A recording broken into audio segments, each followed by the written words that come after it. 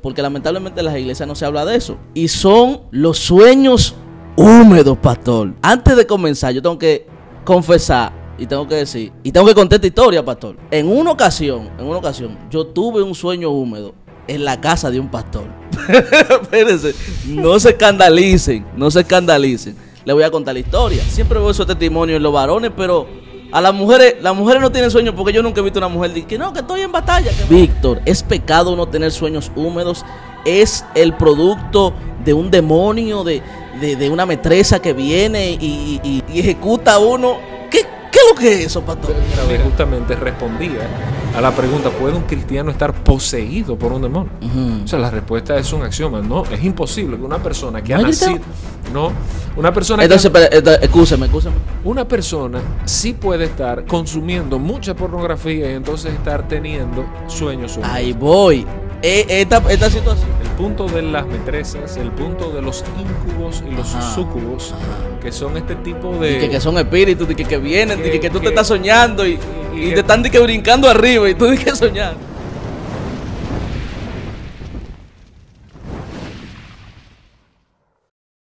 Picante, pero edificante. De show, el show más picante, pero edificante del planeta. Hoy, señores, hoy, yo sé que ustedes sienten como que. Ustedes vieron el, el, video, vieron la miniatura y sintieron como dinero. No es que tengo dinero, pero ando con una gente que tiene una unción para no es broma, es broma, es broma. Con nosotros, un invitado súper especial que queremos mucho, uno de los hombres más bíblicos que yo conozco. Un historiador de la iglesia profundo. Con nosotros, el pastor Víctor Medina. Un aplauso para el pastor, caramba. No, no, un placer estar aquí, Félix. La verdad es que eh, la introducción eh, dista mucho de la realidad, pero eh, me alegro sobre todo con, compartir contigo, con la audiencia. Yo sé que cada día más crece la audiencia juvenil que tienes, el impacto que estás teniendo y aún en medio de las controversias, yo quiero decir que mi participación fue bastante criticada en algún punto por unos Eso sectores. Eso iba a decir, se me lo comían con yuca por la masturbación. En algunos casos sí, en otros no. Sin embargo, a mí me alegra que nosotros podamos hacer ese tipo de, de, intervenciones. El que lo ve completo, bueno, puede sacar sus propias eh, conclusiones. Pero mira qué pasa. Cuando yo hacía Conectados, el programa de televisión, mucha gente me criticaba porque qué yo hacía en ese grupo de personas. Y cuántas cosas y a cuántas personas se llegó y llegó el Evangelio, o, una parte del Evangelio, ¿verdad? Algo de Dios llegó a muchas vidas a través de esas plataformas. O sea que estoy dispuesto, estoy contento de estar aquí genuinamente. Y yo sé que es un contenido picante, pero edificante. No, desde que yo vi todos esos comentarios y todos esos ramplimazos que le estaban mandando a usted, yo dije, no vuelve más una invitación. No, no, no. Nunca le he oído, no Lo que pasa es, Pastor, que escúchame antes de entrar en el tema, que yo sé que la gente está esperando el tema. Pero lo que pasa es que nosotros tenemos como una cultura entre las personas que, predicamos el Evangelio, de no sé, como muy sincero, digo yo, porque son temas que se hablan normalmente, pero cuando ya uno lo está tratando a nivel eh, público o a través de una plataforma, la gente no le gusta hablar ese tipo de temas. Esa es una de las variables. La otra es que la gente no escucha por completo, la gente... Exacto, eh, sí dispara desde el prejuicio, eh, desde lo ortodoxo y no se detiene a estudiar, no se detiene a escuchar, se hacen conclusiones a priori. Entonces, eso lamentablemente, conjugado con lo que tú acabas de decir, es una, es una bomba. Yo leí algunos, no todos, porque imagínate, ¿quién se va a poner a, quién se dedica a leer tantos comentarios? Eh, yo pienso que eso es patológico. ¿Qué? ¿Es una, enfermedad? No, ¿Y de todo? No, digo yo, una gente que se dedique solo a leer lo que la gente piense, eh, claramente lo único que hace es vivir para la gente. ¿Qué? claro. Dios mío. Eh, pero, pero el punto es que tanta gente comentando sin siquiera eh, tener una conclusión sobre algunas cosas. Y ahí yo creo que, que, hay una oportunidad de mejora para todos nosotros. Yo aprendí mucho de eso porque cuántos juicios de valores no he hecho yo a priori de alguien o de algo. Claro. Siempre es bueno estudiar un poco. Pastor, eh, hay evangelistas que le han dicho a, amigos míos, colegas como usted, le han dicho, no vaya donde Félix, que, te van a cerrar la puerta, los pastores no te van a invitar. ¿Qué usted opina sobre ese tipo de comentarios? Usted estudiando mi plataforma, ya estando aquí viendo cómo trabajamos, cómo creamos el contenido y todo. Yo tengo tantos pensamientos que no sé por dónde empezar. Primero, ¿qué importa si te invitan o no? Porque Eh, del corazón que viene eso es una persona que vive del evangelio, no que vive para el evangelio. ¿Qué? Sí, claro, porque si al final que te cierren puertas es el sinónimo a que te inviten como para que te den una ofrenda, Ay, Dios entonces mío. ahí tú haces una triangulación de que definitivamente hay serios problemas en el corazón de eso. Número dos, tu Señor y mi Señor, Sí. Romanos 14, Pablo dice claramente, el que está en pie, para su Señor está en pie, y el que cae, para su Señor cae. En pocas palabras, el que me ha comisionado a mí es el Señor y al que yo he de darle cuenta es al Señor, sí. igual en el caso tuyo. Si esta plataforma viene de Dios. Tú sabes el tipo de trabajo eh, y yo puedo decir que fuera de cámaras hemos hablado de las cosas que tú quieres lograr Claro. eh, para, para proyectos de discipulado y otras cosas. Pues entonces Dios te va a pedir cuenta por eso, no por lo que la gente piensa. O sea que yo me encuentro eso mezquino, un pensamiento muy enano, un pensamiento muy, muy trivial y Sí. ridículo. Pastor, yo eh, eh, hice un comentario, tal vez, no sé si fue fuera de lugar, pero yo me refería a ese tipo de personas que usted dice como evangelistas chiriperos. Evangelicia, evangelista bucavida. Eh, me equivoqué, debo de pedir perdón por decir algo así. Bueno, yo no, yo, yo no sé si pedir perdón y yo creo que lamentablemente las acciones nuestras son más altisonantes que las palabras. Y sí, cuando yo digo, yo te digo, mira, no vayas a ese programa porque no te van a invitar más.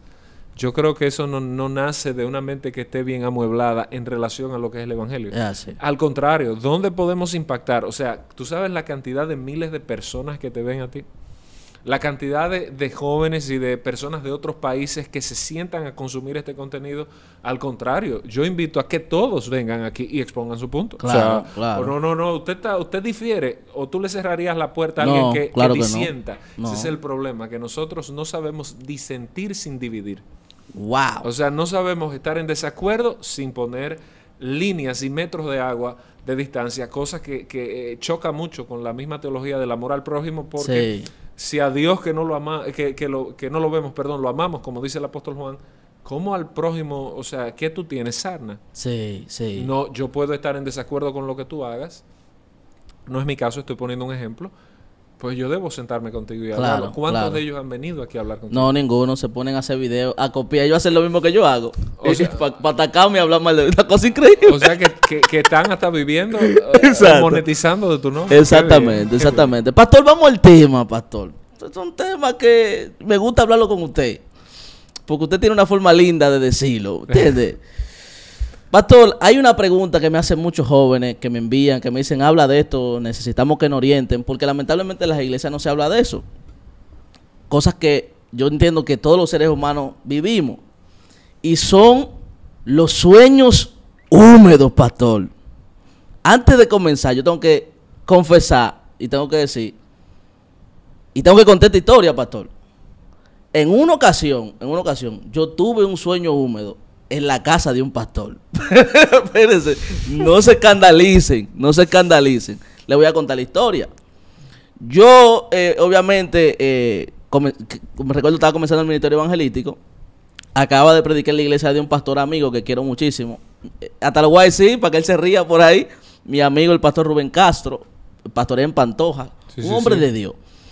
Eh, sucede que yo hablo mucho con Rubén. Hablamos mucho, cuando nos sentamos a hablar, duramos horas, amanecemos hablando. Y fue el caso que amanecimos hablando. Yo no tenía vehículo propio en ese tiempo. No andaba con ropa. Me dormí con mi misma ropa que con la que estaba predicando. Mi, mi pantalón fino, mi camisa. La corbata obviamente me la quité para dormir, pero me dormí así. Me dormí y yo, sinceramente, pastor, yo no soñé con nadie. Que, di una sierva, di que... No, yo, yo no soñé nada de eso. Pero cuando me desperté, había batalla. Entonces, yo no estoy en mi casa, no ando con ropa. no ando con ropa. Lamentablemente, pastor, tuve que mentir. Porque yo, si yo decía la verdad, yo creo que me iba a meter en problemas en ese momento. Y yo le tuve que decir al pastor, cuando vio la situación, yo dije, no, me estaba cepillando y el agua se me cayó ahí. Pero no fue que el agua se cayó, fue que yo me desperté y había batalla. Es pecado, pastor Víctor, es pecado no tener sueños húmedos.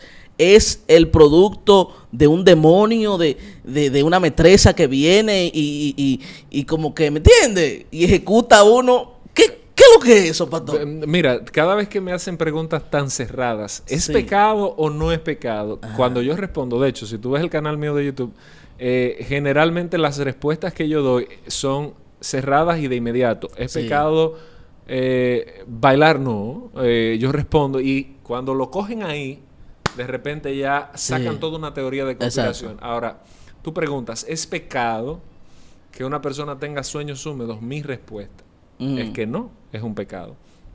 Habiendo dicho eso, ¿por qué yo puedo decir que no es un pecado? Bueno, porque el sueño húmedo, como se conoce, quitémosle la palabra sueño húmedo. Ajá, ¿Y, co- y cómo, entonces, cómo que se llama? No, no, Si eso es, simple y llanamente es una eyaculación eh, nocturna. ¿Tuviste una eyaculación? Porque eso es lo que es. Oh, Ah, eso es un nombre popular que le hemos puesto nosotros. Y que- Y el nombre que se le ha puesto tiene como sueño húmedo, es que es el producto de una excitación eh, en un sueño o lo que fuera, pero la realidad fisiológica, fuera Ok. del matiz que se le ponga a eso, la Ajá. realidad fisiológica es que los espermas eh, eh, y los testículos se van condensando en algún punto y viene un proceso de eyaculación, algo muy natural fisiológicamente hablando. Fisiológico, ¿Qué, fisiológico. qué significa esto? Que eso es un producto del cuerpo. O sea, que usted no puede sentirse pecador por algo que usted no controla, no domina y que definitivamente en la Biblia usted no encuentra absolutamente nada de eso. Ahora, habiendo dicho eso, tú tocas un punto eh, muy sensible que para muchos eh, es como, bueno, sí y no. El punto de las metresas, el punto de los incubos y los Ajá, ajá. que son este tipo de... Y que, que son espíritus, de que, que vienen, de Que- que, que tú te estás soñando y, y- te están de que brincando arriba y tú de que soñando. Exacto. Y tú dices, pero... que te están- no, porque es lo que yo he escuchado, ¿entiendes? pero sí, o que, te, o que te incitan a tener sueños sexuales. Esto primero es algo que tú dirás, bueno, ¿cómo bíblicamente tú puedes probar a una persona que, que tiene un espíritu? De hecho, el último video que grabé justamente respondía a la pregunta, ¿puede un cristiano estar poseído por un demonio? O sea, la respuesta es un axioma. No, es imposible que una persona que ¿No ha nacido... No, una persona que... Entonces, espera, esta- excúsame, excúsame, volvemos a un paréntesis breve. Entonces, ¿y toda esa gente que cae en demonía cuando le tiran el agua y le dicen, "Chue, mira, ve, Dios mío, ahí está, el, el diablo, sal? Eh, eso- Y son cristianos que pagan su diezmo y se congregan. Eh, pero ahí y vamos. caen en, en la cuestión. Ahí hay mucho marketing, mucha histeria colectiva. Hay Mal, eso es marketing para mucha gente, pastor. Bueno, para quienes fomentan eso en muchos puntos sí. eh, pero yo te puedo explicar eso para concluir la otra Sí, idea. sí, concluye la pero, otra idea. Pero podemos Discúlpeme. entrar en... No, no, no. Es, es una realidad. Sí. Pero vamos a atarla. ¿Cómo es posible que un creyente regenerado, si tú te vas a Efesios capítulo 1, versículo 13, una persona eh, que, eh, que, que escuchó el Evangelio, que está sellada por el Espíritu Santo, una persona que en su corazón, quien habita es Jesús, no porque diga en mi corazón está Jesús, sino que el proceso de lo que es el Evangelio, el proceso de lo que conocemos como el ordo salutis, el nuevo el orden de salvación, el Sí. nuevo nacimiento se efectúa eh, en nuestra vida por un mandato de Jesús o del Espíritu Santo nos hace nacer Sí. de nuevo. Eso lo vemos en Santiago. eh, El Nuevo Testamento está repletado de textos que enseñan esta verdad bíblica. Nacemos de nuevo. Ok. ¿Cómo es posible que tú, como creyente, una persona que habita en el Evangelio, entonces dentro de ti pueda venir un demonio a poseerte y sobre todo tú indefenso durmiendo? Eso Sí. es un absurdo lógico, Sí. una, lo- una cosa que obviamente como es populista, es sensacionalista, el dominicano y el latinoamericano es sincrético, es, o sea, hay una mezcla de cultura, de magia, eh, lo que se conoce en, en- en sociología como ese pensamiento mágico religioso que nosotros tenemos. Es muy bonito ponerle, te poseyó un demonio. No, no, no, mi amor, o sea, tú tienes un problema. eh, de hecho, ni siquiera un problema, tienes una reacción natural de tu cuerpo. El mismo ejemplo que puse cuando hablamos de la masturbación, el hombre amanece erecto todos los días o generalmente y el que no amanece erecto tiene que ir a un urólogo porque probablemente tiene un problema. O sea, la erección matutina es un tema eh, de salud sexual y de salud física. Esto no Mm. significa de que usted se masturbe, no, no estoy diciendo eso, ni estoy diciendo... que sería algo bueno aclarar. En ese video nunca se mandó a nadie de que a No, no, pero la gente coge lo que quiere. O sea, no, no le dediquemos tiempo a, a- Claro. a eso. Te agradezco. Pero el punto está aquí, que tú no puedes torturarte porque tú amanezcas eh, como tú le llamas, en batalla. Un ayuno, O sea- ayunar, tres silicios boca abajo bebiendo jugo de chinola porque amanecí en batalla. Entonces, pero, pero, pero, pero, pero- pero ¿dónde viene el tema? Que esa culpabilidad es impuesta por una tradición y no por la palabra de Dios. Y nosotros le llamamos espíritu, espíritu a eso cuando no lo es. Eh, eso es una tradición impuesta, una culpa impuesta. Ahora, tercer elemento que sí podemos ver. Ya dijimos que no es un pecado, dijimos que un creyente no está poseído, o sea, no hay forma, no es que un incubo o un sucubo, de hecho, eso, esa terminología muy eh, psicológica, no es que yo esté en, de- en desacuerdo de la psicología, pero por algún punto nosotros criticamos la psicología y por otros puntos le tomamos prestados algunos argumentos a la psicología y a la mitología. Eso, eso de incubo y sucubo, eso es, eso es psicológico. eso Yo pensaba que eso era, eso era metafísico. Bueno, tiene, tiene, tiene aristas tanto en lo psicológico, o sea, hay, hay teorías, eh, eh, la teoría freudiana de los sueños, interpretación de los sueños, eh, también hay conceptos míticos o mitológicos de Grecia Sí. sobre, sobre los íncubos y los súcubos, pero cuando tú lo mezclas en la jerga evangélica y en la jerga, eh, sobre todo neopentecostal, de bueno, tú lo que tienes es un, es un demonio y algo te poseyó. Yo me lo encuentro eso tan ridículo, pero y me excusan, o sea, pero no solo que me lo encuentro ridículo, ridículo perdón, me lo encuentro irresponsable. O sea, ¿cómo tú quieres eh, cargarle, perdón, el dado a un demonio cuando tú, tú eres el que tienes que lidiar con tu situación? O sea que hay, hay una cultura de irresponsabilidad con respecto a esos temas sexuales. De, de no soy yo el diablo. Eh, uh, mi, De- mi próximo libro se llama No es culpa del diablo. ¿Qué? Eh, Literalmente, o sea, el próximo libro que ya comencé a escribirlo se llama No es culpa del diablo, porque en la teología del siglo XXI, o sea, de, de- de finales del siglo XXI, se ha venido mucho eh, exer- exacerbando, excitando estos temas. Eh, la misma Ana Méndez, esto, que, que el Señor las reprenda, diría yo, o sea, y me disculpan a todos los que puedan.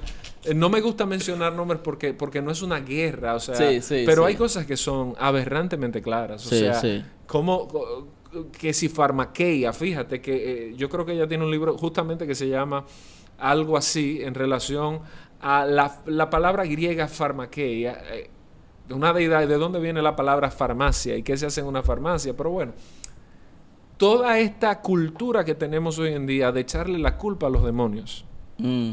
No estoy diciendo de que no existan. La Biblia es clara de que hay una guerra espiritual. Ahora, si no la enfocamos correctamente, estamos peleando contra nosotros mismos y eso no es correcto. Mm. Eh, Efesios, nuestra lucha no es contra carne y sangre. Estamos claros de eso. Ahora, Ujú. lo tercero, para seguir con la, con la idea del, te- del tema, es que una persona sí puede estar consumiendo mucha pornografía y entonces estar teniendo sueños húmedos. Ahí voy.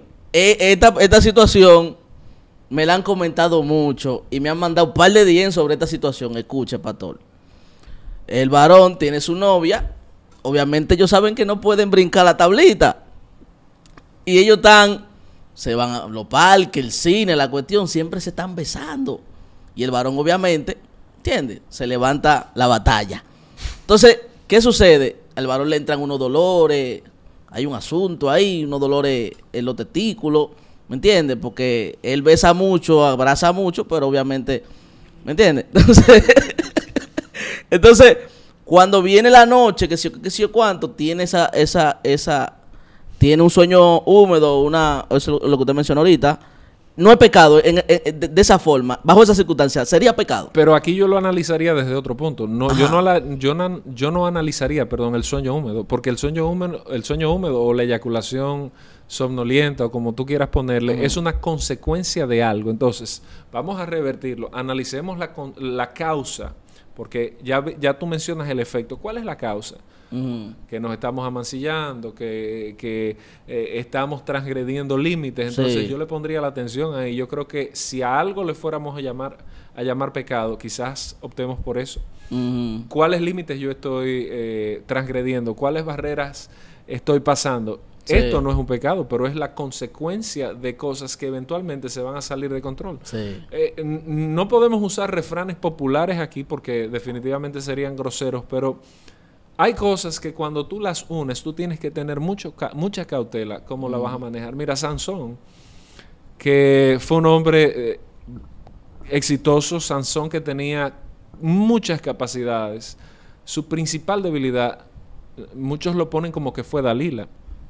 Dalila fue el efecto eh, y no la causa. ¿Qué? ¿Cómo Sí, así, pastor? bueno, Explíquenos bien. Sansón tenía dos, dos elementos básicos. Uno, era una persona extremadamente confiada en sí mismo, porque él entendía que podía. Ay. Y esa realidad es la que te va a llevar a ti a ir moviendo un poco el límite, porque yo puedo, porque yo puedo. Y eso fue... Ay, mi eh, madre. eh, tú- si tú evalúas el texto o lo relees eh, el texto, te vas a ir por ahí. En otro elemento, Sansón cuando llega donde Dalila estaba cansado, o sea, yo siempre he dicho, eh, y esta frase se la tomé prestada a, un- a uno de mis predicadores preferidos que ya murió, Adrian Rogers.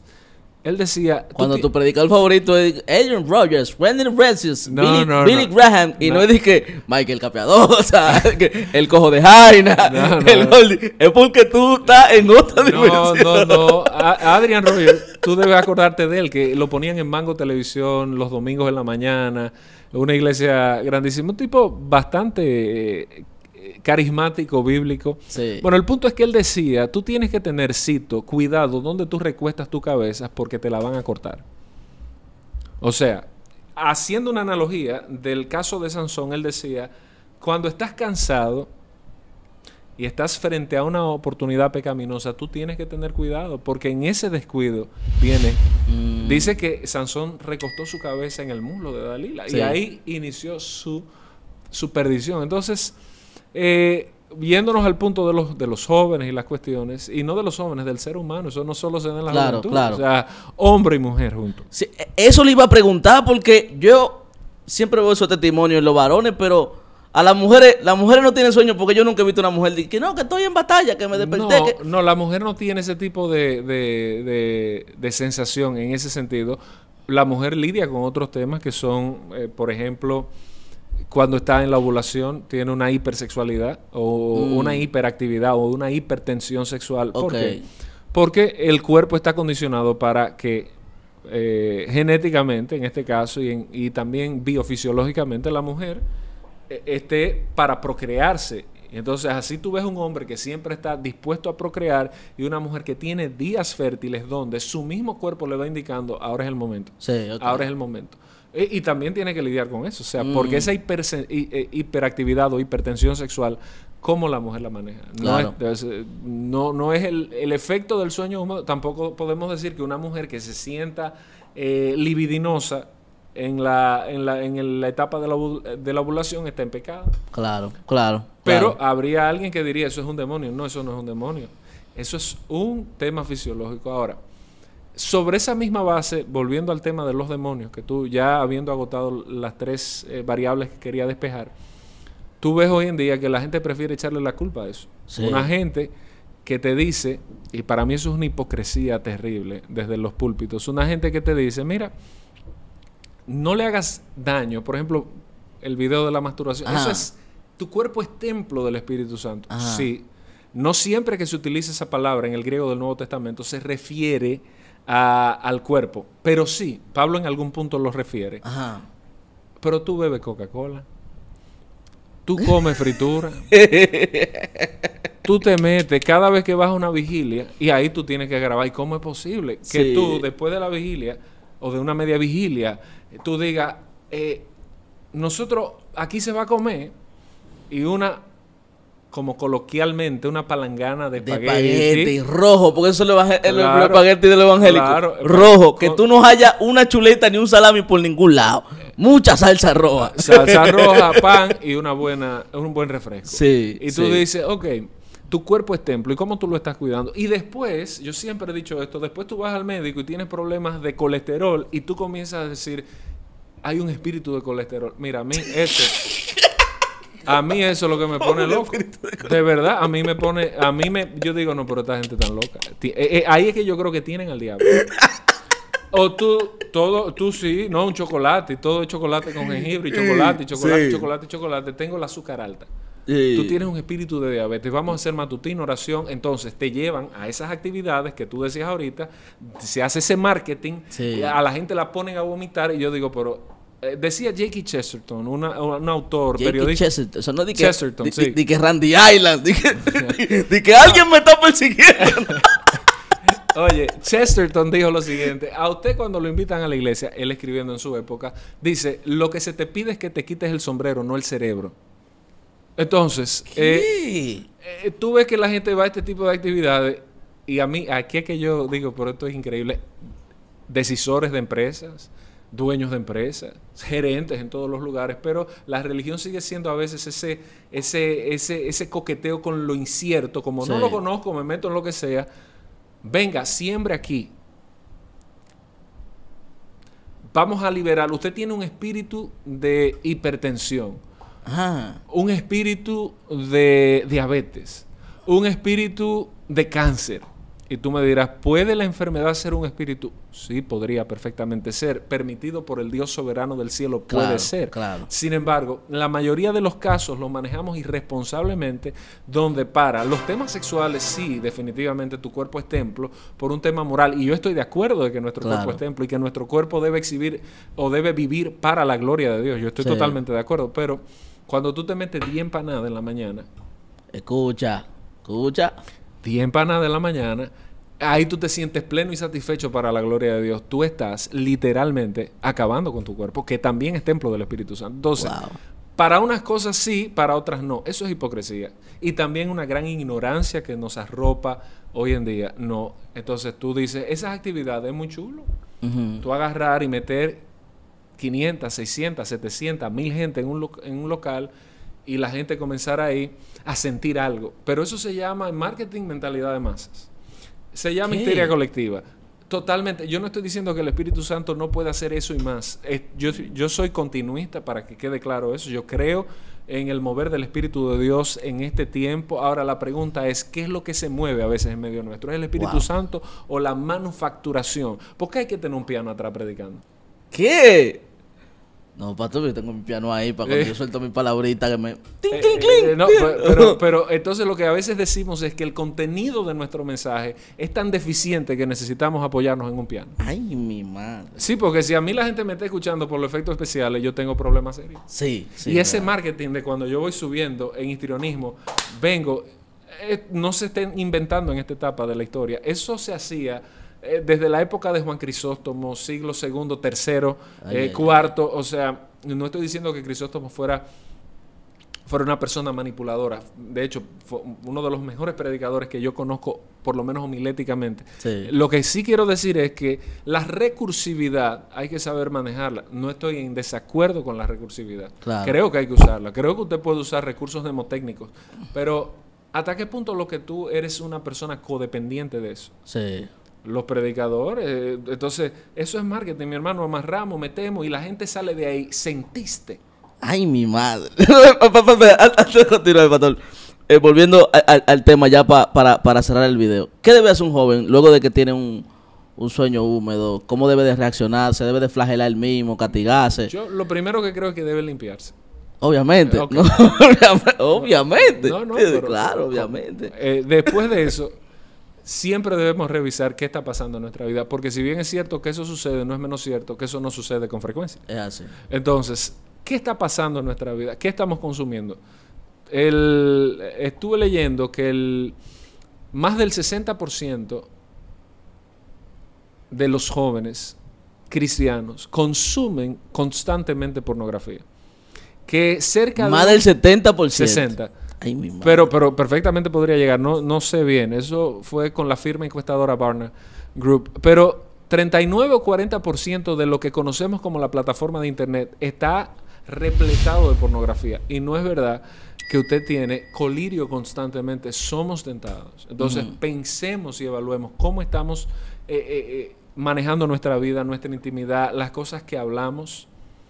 Porque todo eso también va man- manufacturando cosas. Entonces, Wow. aquí no sería atender al sueño húmedo o a la eyaculación. Sí. No, aquí sería qué lo está provocando. Y ahí yo pienso que debemos poner eh, ocasión. Y al joven o a la persona o al adulto que nos esté mirando ahora, es un buen tiempo para reflexionar. O sea, hagamos un alto en el camino. Eh, eh, Señor, ayúdame, no a no tener sueños mojados, porque eso podría hasta, hasta representar un problema físico. Claro. No, sino, Señor, ayúdame a evaluar mi corazón y a ver cuáles cosas están provocando eso. Bueno, señores, esto es picante pero edificante, magistral, la participación del, pa- del pastor Víctor. Muchas gracias a todas las personas que nos apoyan en Super Chat, están apareciendo ahora mismo en la pantalla. Muchas bendiciones para todos ustedes. Suscríbanse a este canal, suscríbanse al canal del pastor Víctor que está aquí en el título del video. Esto es picante pero edificante de show. Ya tú sabes, varón, si tú eres una piscina humana. No, no, no. Bendiciones.